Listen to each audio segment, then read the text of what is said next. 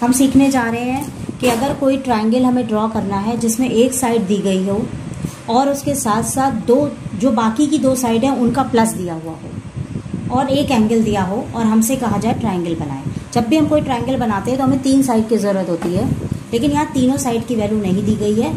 एक साइड की वैल्यू दी गई है, और दो साइड्स का सम दिया गया है। तो मान लीजिए मेरे पास एक ऐसा कोई ट्राइंगल है, जिसमें जो एक साइड दी है, वो सेवन सेंटीमीटर है दोनों साइड का जो सम है वो थर्टीन सेंटीमीटर है और वो जो एंगल है वो सेवेंटी फाइव डिग्री है। और इस एंगल को हमको क्रिएट करना है।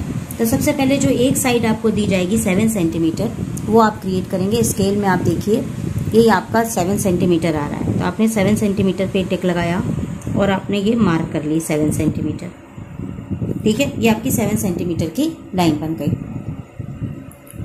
अब आपने इसका नाम कर दिया, मान लीजिए बी और सी अब आपको 75 डिग्री का एंगल बनाना है बी पॉइंट से। तो अब हमें 75 डिग्री का एंगल हम ये भी कंपस से ही बनाएँगे। अब मैं पहले आपको सिखाने जा रही हूँ कि 75 डिग्री का आप एंगल कैसे बनाएँगे। आप ये आर्क किसी भी उसका ले लीजिए, लेकिन जब आप इसको सेट कर देंगे, उसके बाद आपको इसको हिलाना नहीं है, नहीं तो आपका फिगर गलत हो जाएगा। ये जो बी का सेंटर है, ये ये वाला, यहाँ पर आप इसको रखिए और यहाँ पर आप आर्क लगा दीजिए। ये आर्क आपको लाइन पर कहीं पर कट करेगा। ठीक है? जिस पॉइंट पर ये आपको कट करेगा यहाँ से आप एक दूसरा आर्क लगाइए और ये ऐसे कट करा। ये जो पहला आर्क कटा है, ये आपका सिक्सटी डिग्री बनेगा, ठीक है?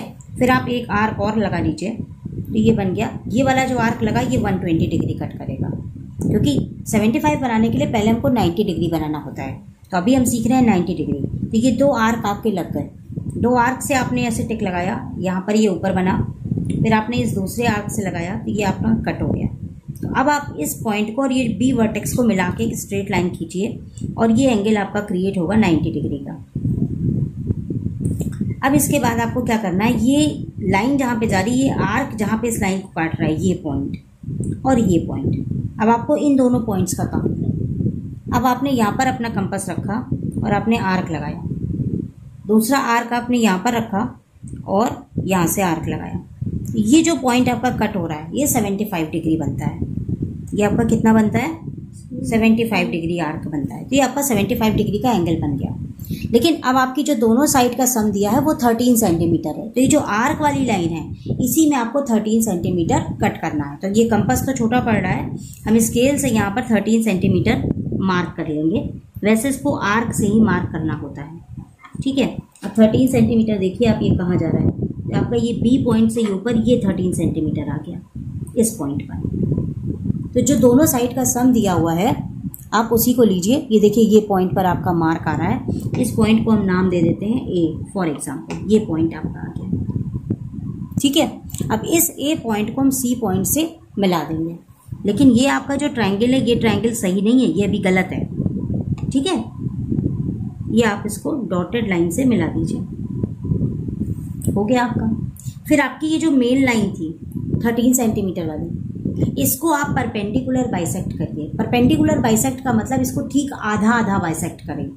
अब किसी भी लाइन को हम आधा आधा कैसे बाइसेक्ट करते हैं? यहाँ बाइसेक्ट करने के पहले हम आपको यहाँ भी सिखाते हैं कि किसी भी लाइन को हम कैसे बाइसेक्ट करते हैं। तो जैसे आपकी कोई ये लाइन है, कोई भी लाइन है, इसको हमको बाइसेक्ट करना है परपेंडिकुलर तो हम इसके दोनों पॉइंट पर आधे से ज़्यादा, इस लाइन के आधे से ज़्यादा अंदाज से हम ले लेते हैं, ये मान लीजिए लाइन का आधे से ज़्यादा हो गया। तो हमने इधर भी आर्क लगाया और इधर भी आर्क लगाया।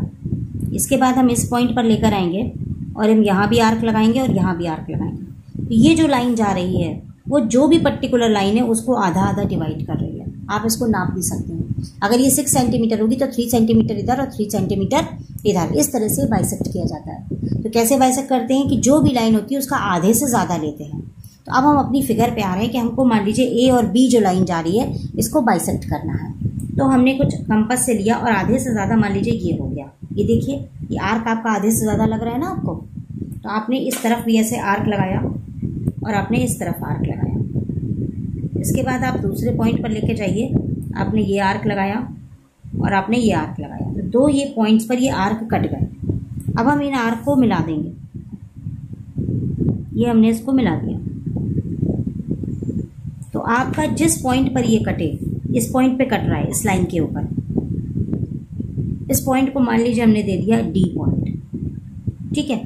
तो इस डी पॉइंट से आप सी को मिला दीजिए। तो अब ये बी सी डी ये रिक्वायर्ड ट्राइंगल है, जिसमें बी डी और सी डी को आप नाप करके जोड़ेंगे तो वो थर्टीन सेंटीमीटर होगा।